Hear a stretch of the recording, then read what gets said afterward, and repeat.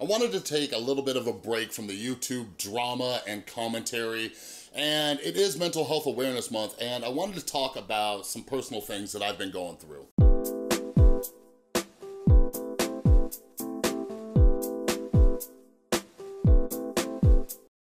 Is up, everybody? This is Chris from The Rewired Soul, where we talk about the problem, but focus on the solution. if you're new to my channel, typically what I do is I try to take topics from the YouTube community or pop culture, and I do a little commentary on it to see what kind of lessons we can learn. But something I'm very passionate about is mental health. So if you're into any of that stuff, make sure you subscribe and ring that notification bell.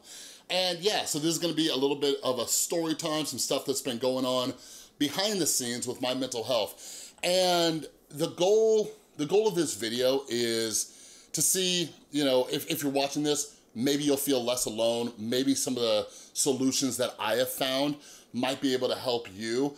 But I was having like a really rough week and just some aha moments came up and hopefully it can help somebody who's watching this video. So yeah, this, this last week has been really, really weird. Um, even, yeah, I'd say probably a little bit over a week. I've noticed, I've noticed this kind of, this, uh, this feeling of apathy, right? Just no feeling at all, this kind of numbness. And for me, sometimes when depression hits, it is that numbness where I don't feel anything. I don't, it's not like, oh, I don't get excited or I don't get motivated or I don't, you know, whatever it is. It's not just that, but it's also like, there, there wasn't like any sadness or any like terrible feelings or anything like that. It was just kind of numb. So last weekend, I think a week ago today, I actually got to go see one of my favorite bands for like the umpteenth time, uh, Taking Back Sunday. And I remember just being at that show and not like feeling, you know what I mean? Like just like, you know, I'm at a, I'm at a concert. I, I don't go to concerts as much anymore because I'm, you know, I'm getting a little old, right? And, and yeah, just like the feeling wasn't there. I'm like, what the hell is wrong with me?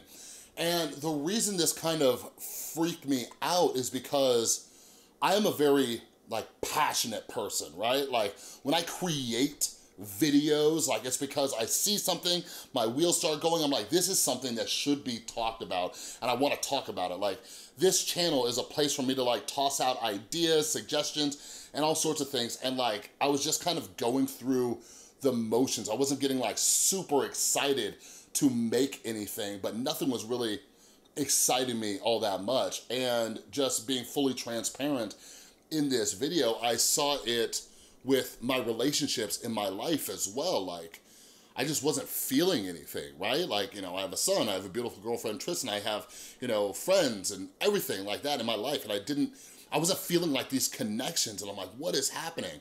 So I, I've been on um, an antidepressant slash, uh, slash anti-anxiety medication called Lexapro. It's a non-narcotic.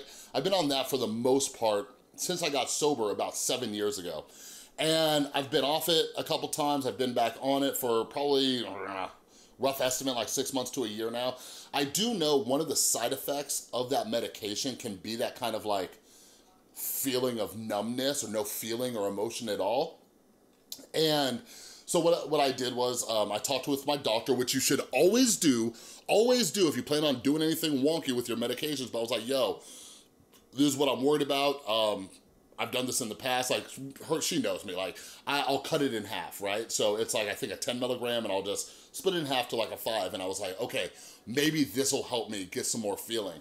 Now, I primarily take it um, for anxiety rather than depression. I was diagnosed with a generalized anxiety disorder and it was messed up because I take my meds in the morning and like halfway through the day, I started feeling really anxious. So like I would take the other half of it.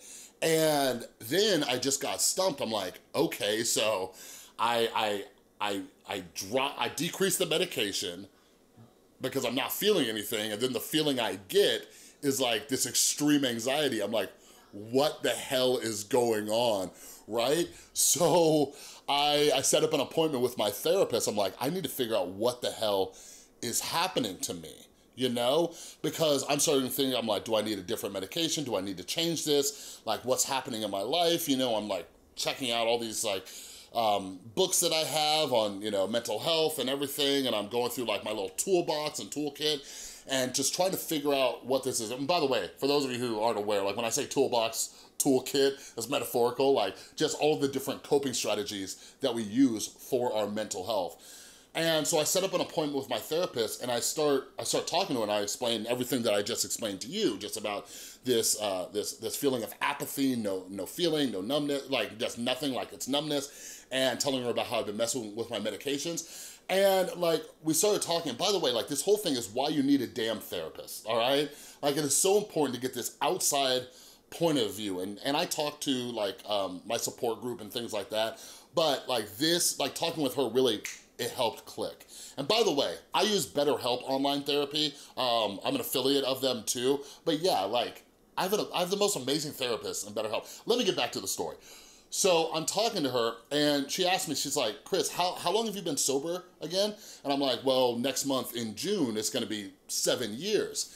And she's just talking to me just about like, you know, the, the research and the studies and her own experience. And she's like, well, you know, in my experience, a lot of people around seven years, like their, their brain starts to change, and seven years can be a, a, rough time for sobriety.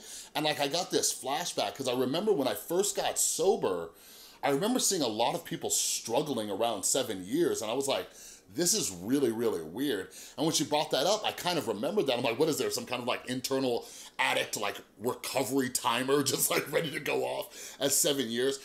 But like, for a lot of us, we're using these like mind-altering substances and your brain doesn't just instantly heal, right?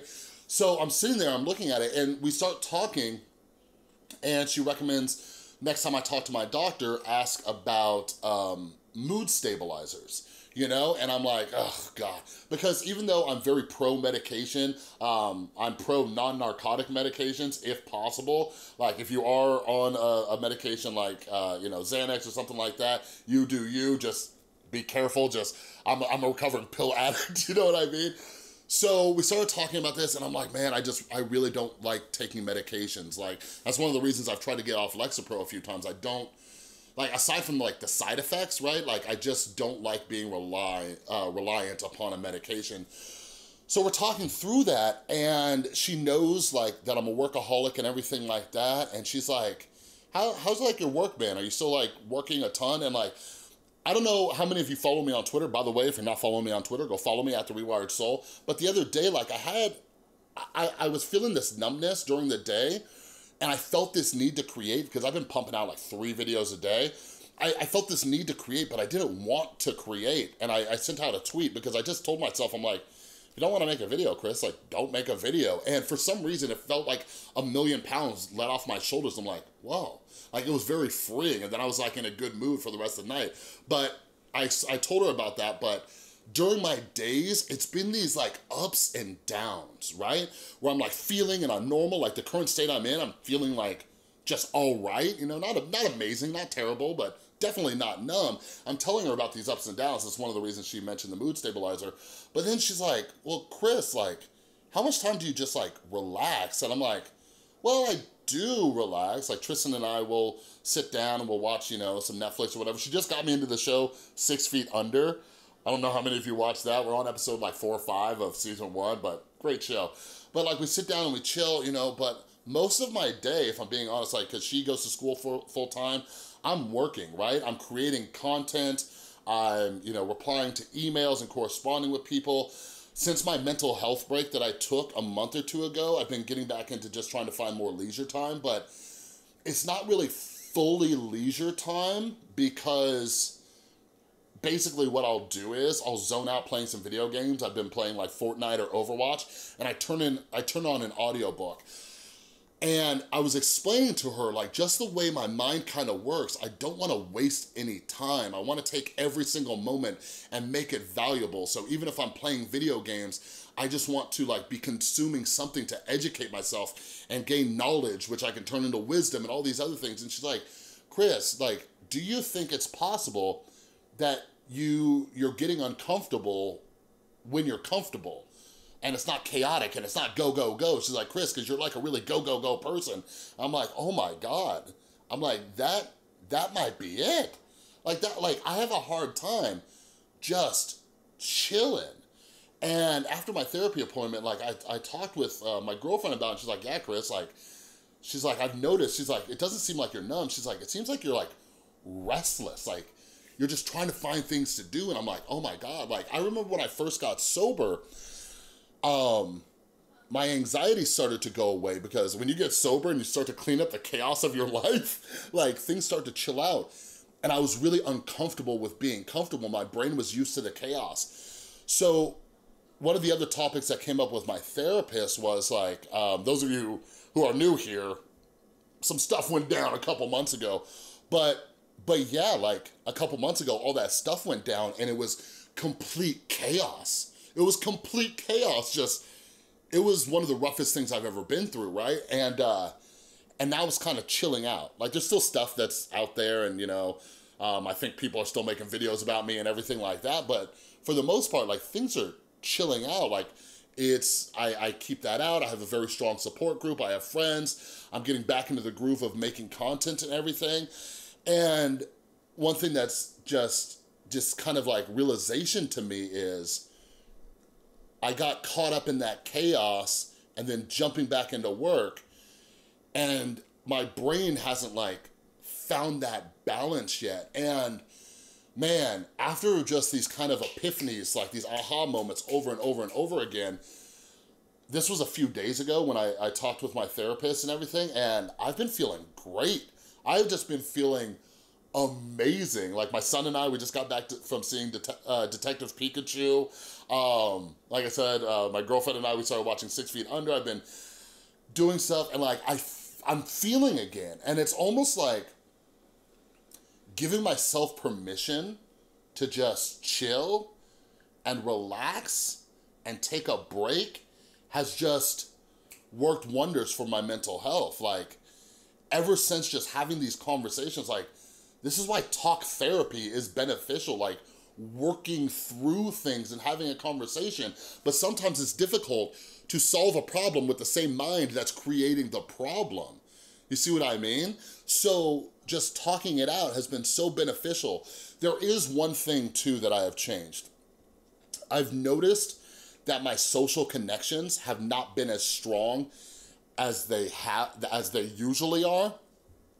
Um, for example, like I said, when I play video games, I typically just turn on an audiobook and listen and because I want to like be educating myself and learning and getting knowledge and I got like some books like new books on like philosophy and um, uh, this one uh, this one new book on like uh, the state of the nation with therapy and mental illness and I'm just like I'm always just trying to consume this stuff I've been just cranking out books I've been going through like six or seven books a month the past few months right and what I'm getting at is like I haven't been playing video games with my friends like I've grown up a gamer with friends who are gamers too, and they've been sending me invites and stuff. I'm like, hey, I'm busy. I can't, I can't play like with you. I'm, I'm just doing stuff, and I'm like, I'm zoning out, just doing Fortnite challenges or zoning out in, in, uh, in Overwatch. Like I even turn, I even put my my Blizzard account to invisible so people couldn't see that I was online because I would rather just sit listening to audiobooks than interacting with my friends. So this is part of like that toolbox that I mentioned where I was like, wait, my social connections haven't been there. So the last few days I've been really taking a break from reading as much or listening to audiobooks as much and and like reaching out to my friends and say, yo, I'm back, like let's play, let's game. And I think that is part of it too. And I've been really trying to be more present with my son, with my girlfriend Tristan, like in conversations and really getting those, you know, those connections because I'm telling you right now, like all the medications in the world are not going to solve your depression or that numbness that I was feeling if you don't build social connections. Like I'm just telling you, like we're not built as human beings for that. Like we need to have social connections. But yeah, anyways, like I'm feeling great and it's mental health awareness month, so I would be remiss if I didn't share with you what's actually going on in my life during this time. And like I said, if you stuck around this long, I really hope if you could relate to this story, like just know there is hope. These things are gonna go up and down. Like something that my therapist reminded me of too and something I preach to all of you is mindfulness and quit judging your experience. Like if I'm not feeling anything, if I if that passion isn't in me to just, uh, right? Like to go make a video or to do something, right? Like that's cool. Just let it be and just relax and chill, right? Last thing I promise. It's actually really funny because as soon as I had these epiphanies, I got like really passionate and just back into creating. Like once I gave myself permission to chill, then I'm like, yay! And I got all creative and just wanted to get all these ideas how to make content and everything, right? But anyways, talk to your support group, don't isolate, build your social connections, and please, for the love of God, if you have the resources, get yourself a damn therapist, all right? Like I said, I use BetterHelp online therapy. It is great for me, but listen, I really do not give a damn where you get help, where you get therapy from, just get help, all right? So if you can, talk to your doctor, see if they can recommend a therapist, talk to friends and family members, see if they can recommend a therapist. If you have insurance, call your insurance company, see what therapists are in their network. Therapists typically specialize in certain forms of mental illness as well. So if you're struggling from anxiety, depression, um, uh, PTSD, borderline personality disorder, you can find a therapist who can help you out with that, all right? But anyways, that's all I got for this video. If you like this video, please give it a thumbs up. If you're new, make sure you subscribe and ring that notification bell. I'm always making videos. And a huge, huge thank you to everybody supporting the channel over on Patreon. You are all amazing. And if you would like to help support what I'm doing here, get access to some perks and benefits like these beautiful credits right here, you can click or tap right there, all right? Thanks again so, so much for watching. I'll see you next time.